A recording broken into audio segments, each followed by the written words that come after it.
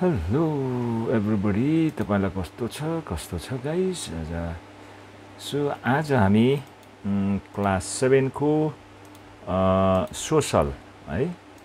Class सेभेनको चाहिँ सामाजिक अध्ययन तथा मानव मूल्य शिक्षा कक्षा सात होइन? युनिट थ्री लेसन वानको चाहिँ हामी यो हेर्न जाँदैछौँ। र एकाइ तिनमा के छ? युनिट थ्रीमा नागरिक चेतना अधिकार र कर्तव्य भन्ने मेन टपिक छ र त्यसभित्र विभिन्न च्याप्टरहरू लेसनहरू आउँछ। र यो युनिटबाट चाहिँ सिकाइ उपलब्धि के के छन्? के के आउँछ? आउनुपर्छ भन्दाखेरि राज्यको आधारभूत तत्त्वहरू पहिचान गर्न लोकतान्त्रिक संस्कारको पालन गर्न संविधानको परिचय दिई नेपालको वर्तमान संविधानको विशेषता उल्लेख गर्न मानव अधिकार र मौलिकहरू हकहरूको परिचय दिन महिला अधिकारको परिचय दिन प्रादेशिक सरकारका कार्यहरू उल्लेख गर्न र सुरक्षा निकायहरूको भूमिका बताउन। है त? यति कुरा चाहिँ हामीले बताउन सक्षम हुनु पऱ्यो त्यसपछि हामी अब यो सामाजिक शिक्षा अध्ययन तथा मानव मूल्य शिक्षा कक्षा सातको अब युनिट थ्रीको लेसन वानमा पाठ एकमा हामी जाँदैछौँ। र यसको शीर्षक चाहिँ के छ? राज्यको आधारभूत तत्त्व होइन? अब यो राज्यको आधारभूत तत्त्व के के हुन् त? है राज्यको अर्थ। व्यक्ति व्यक्ति मिलेर समुदाय बन्दछ समुदाय समुदाय मिलेर समाज हुन्छ होइन? अनि समाज मिलेर राज्य निर्माण हुन्छ राज्यलाई समाजको पनि समाज भनिन्छ। निश्चित भूभाग र फै मा फैलिएको सङ्गठित राजनीतिक एकाइ नै राज्य हो। राज्यभित्र पनि विभिन्न जात जाति वर्ण लिङ्ग धार्मिक आस्था भएका मानिसहरूको बसोबास हुन्छ होइन? अनि राज्यमा बसोबास गर्ने समुदायका आफ्नै संस्कार र पहिचान हुन्छ है त? र इतिहासमा राज्यको सुरुवातको एकिन तिथिमिति पाइँदैन असर्थ। मानव समुदायको विकासक्रमसँगै राज्यको उत्पत्ति भएको मान्न सकिन्छ।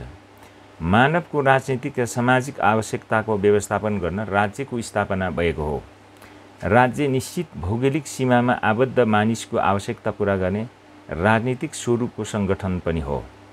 राज्यसँग सर्वोच्च शक्ति निर्भर रहेको हुन्छ। राज्यले पनि आफ्ना अङ्गमारहरू मार्फत शक्तिको के गर्छ? प्रयोग गर्दछ।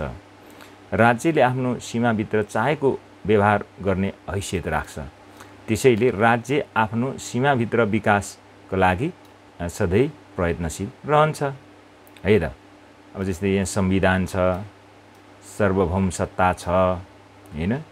जनसङ्ख्या छ भूमि छ जमिन सरकार छ यहाँ अनि राज्यको तत्त्वहरू हो कि होइन अब हामी तल जाउँ। राज्यका आधारभूत तत्त्व के के हुन् त? राज्य बन्न लागको लागि निम्न तत्त्व निलिखित तत्त्वहरू चाहिँ अनिवार्य हुनुपर्दछ के के हुनु पऱ्यो कुनै एउटा राज्य हुनुपर्छ भनेदेखि के के हुनु पऱ्यो भूमि हुनुपर्छ जनसङ्ख्या हुनुपर्छ सरकार हुनुपर्छ सार्वभौम सत्ता हुनुपर्छ र संविधान हुनुपर्छ। यो चारवटा कुरा चाहिँ यहाँ हुनुपर्छ। अब हामी भूमिको बारेमा कुरा गरौँ। है? भूमि राज्यको आधारभूत तत्त्व हो। हरेक राज्यसँग भूमि अनिवार्य हुनुपर्छ तर भूमिको क्षेत्रफल फरक फरक हुनसक्छ।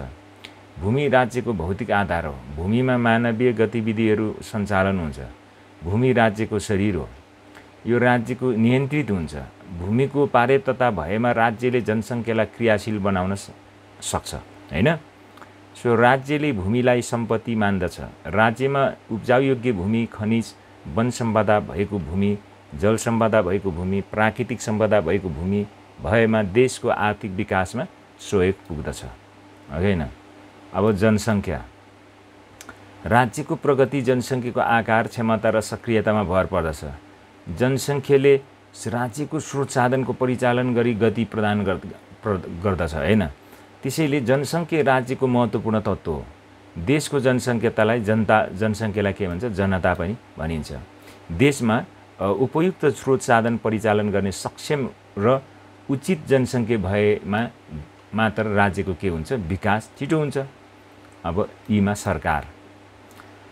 अब सरकार चाहिँ राज्य सञ्चालन गर्ने निकाय हो। सरकार राज्यको परिचालक पनि हो र राज्यमा जनतालाई जनताको इच्छालाई मूर्त रूप दिने काम सरकारले नै गर्दछ होइन? राज्यमा उपलब्ध स्रोत साधनको उपयोग रक्ष व्यवस्थापन र नीति निर्माण गर्न कार्य सरकारबाट नै हुन्छ र जनमत अनुसार सरकारको गठन तथा सञ्चालन हुन्छ। सरकारले राज्यको शक्ति प्रयोगको लागि कानुन बनाउने विकास निर्माण योजनाहरू तयार पार्ने काम गर्दछ। र जनशक्ति व्यवस्थापन गर्ने स्रोत साधनको व्यवस्थापन गर्ने लगायतका कामहरू पनि सरकारको कार्यक्षेत्रभित्र पर्दछन्। वैदेशिक सम्बन्ध र सहयोग जुटाउने काम पनि सरकारको हो। सरकार विभिन्न तहमा हुन सक्छन्। सरकारले राज्यका महत्त्व सम्पूर्ण कुराहरूमा कानुन बमोजिम नियमन र नियन्त्रण गर्दछ। होइन अब हामी तल जाउँ। सार्वभौम सत्ता। सार्वभौम सत्ता राज्यको स्वतन्त्रता वा सर्वोच्चताको अधिकार हो। राज्यसँग जमिन जनसङ्ख्या र सरकार मात्र भएर हुँदैन। राज्यसँग आफ्नो सिमानाभित्रको हरेक कुरामा निर्णय गर्ने सार्वभौम अधिकार पनि हुन्छ। राज्यले इच्छाअनुसार शासन गर्ने स्रोत साधन र जनसङ्ख्या व्यवस्थापन तथा परिचालन गर्ने स्वतन्त्रता हैसियत राख्दछ। यो नै सार्वभौमिकता हो र नेपालको सार्वभौम सत्ता नेपाली जनतामा निहित रहेको छ। होइन अब संविधानको कुरा पनि आयो। संविधान देशको मूल कानुन हो। यसमा राज्यको अङ्गरूपी शक्तिको बाँडफाँड र परिचालन एवं सरकारको स्वरूप निर्धारण गरिएको हुन्छ। संविधानमा राज्य शक्तिको न्यायोचित वितरण एवं सरकार र जनताका अधिकार पनि तोकिएको हुन्छ। नेपालको संविधानले राज्यलाई सङ्घ प्रदेश र स्थानीय तह एवं कार्यपालिका व्यवस्थापिका र न्यायपालिकामा वितरण भए गरेको छ। त्यसैले संविधानलाई राज्यको महत्त्वपूर्ण तत्त्वको रूपमा लिइन्छ। है त? अब हामी जाउँ यसको पठन पढाइको कुरा सकेपछि क्रियाकलापमा पाँचमा। एकमा पाँचवटा समूहमा विभाजन गर्नुहोस्। पहिलो समूहले भूमि दोस्रो समूहले के अरे? पहिलो समूहले भूमि दोस्रो समूहले जनसङ्ख्या तेस्रो समूहले सरकार चौथो समूहले संविधान र पाँचौँ समूहले सार्वभौम सत्ता सम्बन्धमा सन्दर्भ सामग्री अध्ययन र सोधखोज गरी मुख्य मुख्य जानकारी टिपोट गर्नुहोस् र कक्षामा प्रस्तुत गर्नुहोस् भनेको छ अनि त्यसपछि अभ्यास आएको छ एकैचोटि तलको प्रश्नको उत्तरहरू लेख्नुहोस्। अनि यो के के छ त? राज्य भनेको के हो? होइन? किन भूमिलाई राज्यको अनिवार्य तत्त्व मानिएको स्पष्ट गर्नुहोस्। जनसङ्ख्यालाई मानवीय स्रोत भन्नुको कारण लेख्नुहोस्। सरकार राज्यको परिचालक पनि हो उदाहरणसहित स्पष्ट पार्नुहोस्। अनि त्यसै किन सार्वभौम सत्ता बिना राज्यको कल्पना गर्न सकिँदैन आफ्नो विचार प्रस्तुत गर्नुहोस् र संविधानलाई देशको मूल कानुन किन भनिन्छ भनेर यहाँ भनेको छ। अब यसको एन्सर पनि हामी हेर्नेछौँ। सो अब यो हामीले यो क्रियाकलापलाई हामीले हेर्नेछौँ यहाँ है। मेन चाहिँ अब यो क्रियाकलापको के छ? ठिकै छ अलरेडी हामीले यहाँ हानेछौँ यो क्रियाकलापको चाहिँ पाँचवटा समूहमा विभाजन हुनुहोस्। पहिलो समूहले भूमि दोस्रो समूहले जनसङ्ख्या तेस्रो समूहले सरकार चौथो समूहलाई संविधान र पाँचौँ समूहले चाहिँ सर्वम सत्ता सम्बन्धमा सामग्री अध्ययन गरी खोजखोज गरी मुख्य मुख्य जानकारी टिपोट गर्नुहोस् भनेर भनेको छ। उत्तरमा के छ? पहिलो समूह भूमि। राज्यले भूमिलाई सम्पत्ति मान्दछ।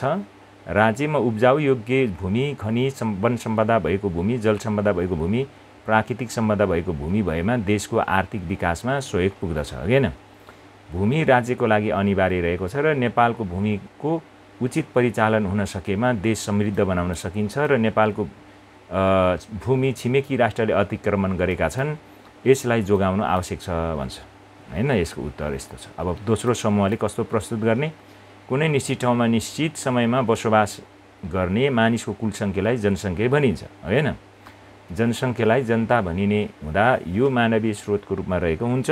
र देशमा उपयुक्त है यो उपयुक्त हुनु पऱ्यो उप उपयुक्त यस्तो यु उपयुक्त होइन स्रोत साधन परिचालन गर्ने सक्षम र उचित जनसङ्ख्या भएमा मात्र राज्यको विकास छिटो हुन्छ है त अब तेस्रो समूहले के छ सरकारको बारेमा राज्यको महत्त्वपूर्ण अङ्गमध्ये एक सरकार पनि हो सरकारलाई कार्यपालिकाको रूपमा लिइन्छ नेपालमा प्रधानमन्त्रीको नेतृत्वमा सरकार गठन हुने व्यवस्था रहेको छ र व्यवस्थापिकाको बहुमतले प्रधानमन्त्री चयन गर्ने र प्रधानमन्त्रीको उसमा चाहिँ अध्यक्षतामा हुनुपर्ने होला यो होइन? यहाँ अलिकति उ भएछ मन्त्री परिषद रहने व्यवस्था गरिएको छ होइन त?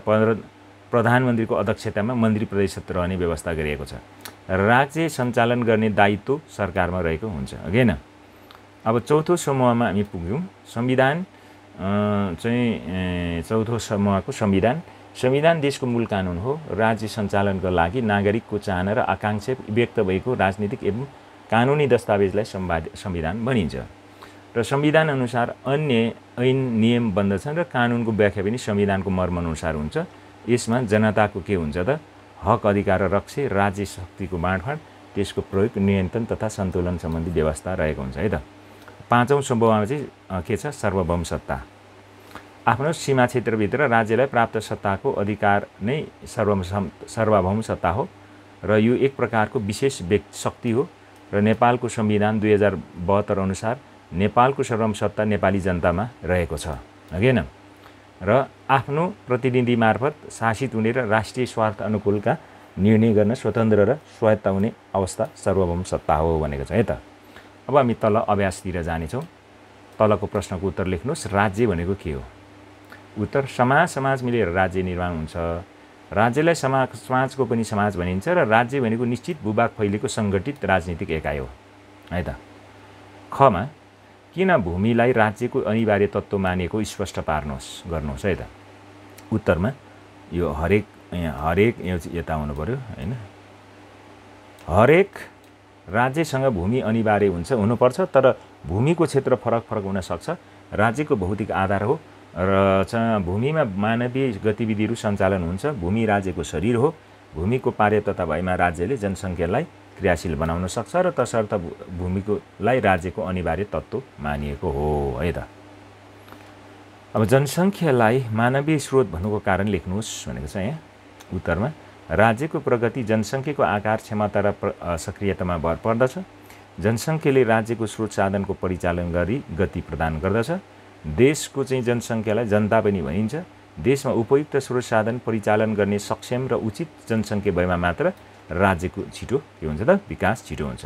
र जनसङ्ख्या है त मानवीय स्रोत भएकोले अन्य सबै स्रोतलाई यसले प्रभावकारी परिचालन गर्छ। तसर्थ जनसङ्ख्यातालाई मानवीय स्रोत भनिएको हो। अब सरकार राज्यको परिचालक पनि हो। उदाहरणसहित स्पष्ट गर्नुहोस् भने अब सरकार राज्य सञ्चालन गर्ने निकाय हो। राज्यमा जनताको इच्छालाई मूर्त रूप दिने काम सरकारले नै गर्दछ। राज्यमा उपलब्ध स्रोत साधनहरूको उपयोग रक्षा व्यवस्थापन र नीति निर्माण गर्ने कार्य सरकारबाट नै हुन्छ। जनमत अनुसार सरकारको गठन तथा सञ्चालन हुन्छ। सरकारले राज्यको शक्ति प्रयोगको लागि कानुन बनाउने विकास निर्माणका योजनाहरू तयार पार्ने काम गर्दछ। जनशक्ति व्यवस्थापन गर्ने स्रोत साधनको व्यवस्था गर्ने लगायतका कामहरू पनि सरकारको कार्यक्षेत्रभित्र पर्दछन्। तसर्थ सरकार राज्यको परिचालक पनि हो। किन सार्वभौम सत्ता बिना राज्यको कल्पना गर्न सकिँदैन? आफ्नो विचार प्रस्तुत गर्नुहोस् है त? अब सार्वभौम यहाँ यो चाहिँ ङ हुनुपर्ने ख भएछ है यहाँ। यो चाहिँ के हुनु पऱ्यो ङ यस्तो सम्भवत त्यस्तो हुनुपर्छ। ओके? अब सार्वभौम सत्ता बिना राज्यको स्वतन्त्र र वा सर्वोच्चको अधिकार हो। राज्यसँग चाहिँ तपाईँको के छ? जमिन जनसङ्ख्या सरकार मात्र भएर हुँदैन। राज्यसँग आफ्नो सिमानाभित्रको हरेक कुरामा निर्णय गर्ने सार्वभौम अधिकार पनि हुन्छ र राज्यले इच्छाअनुसार शासन गर्ने स्रोत साधन जनसङ्ख्या व्यवस्थापन तथा परिचालन गर्ने स्वतन्त्र हैसियत राख्दछ। यो नै सार्वभौमिक भौमिकता हो। है त? सार्वभौम सार्वभौम सत्ता बिना राज्य राज्यको रूपमा नरहने हुनाले सार्वभौम सत्ता बिना राज्यको कल्पना के गर्न सकिँदैन? कल्पना गर्न सकिँदैन। यो बिना चाहिँ काटिदिने यहाँनिर ए बढी भएछ यो यति। यहाँ सार्वभौम सत्ता राज्यका स्वतन्त्र वा सर्वोच्चताको अधिकार हो भन्ने लेख्ने माथि है? अब चमा संविधानलाई देशको मूल कानुन किन भनिन्छ भनेको छ अब संविधानलाई देशको मूल कानुन हो। संविधान चाहिँ देशको मूल कानुन हो किनकि यसमा राज्यको अङ्गरूपी शक्तिको बाँडफाँड र परिचालन एवं सरकारको स्वरूप निर्धारण गरिएको हुन्छ होइन? संविधानमा राज्य शक्तिको न्यायोचित वितरण एवं सरकार जनता र जनताका अधिकार पनि तोकिएको हुन्छ र अन्य सबै ऐन नियम कानुनहरू संविधानका मर्मअनुसार के हुन्छ निर्माण गरिएको हुन्छ। है त? यसरी तपाईँको सम्पूर्ण यो क्वेसनहरूको एन्सर हामीले दिइसक्यौँ। अब आजलाई यति नै भन्छौँ र फेरि अन्य विषयहरू हामी लिएर नै आउनेछौँ। तबसम्मको लागि तपाईँहरू सबैबाट बिदा हुन चाहन्छौँ। Good by.